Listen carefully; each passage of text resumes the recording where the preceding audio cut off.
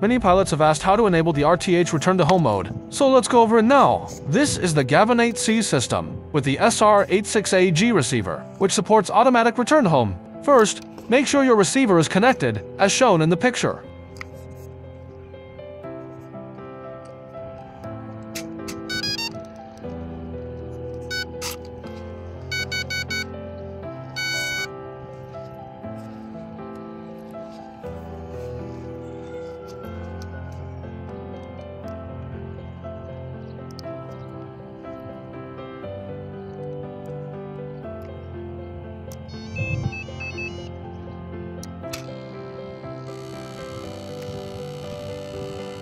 Flight mode control via SB switch. Gyro off mode. Green, normal mode, blue.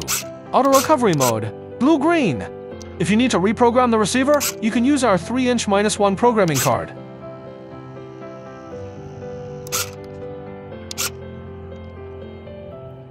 Activating RTH mode via SD switch. To enable RTH, flip the SD switch up. The GPS indicator will start blinking slowly, showing that it has a signal to turn off RTH. Flip the SD switch down. That's it.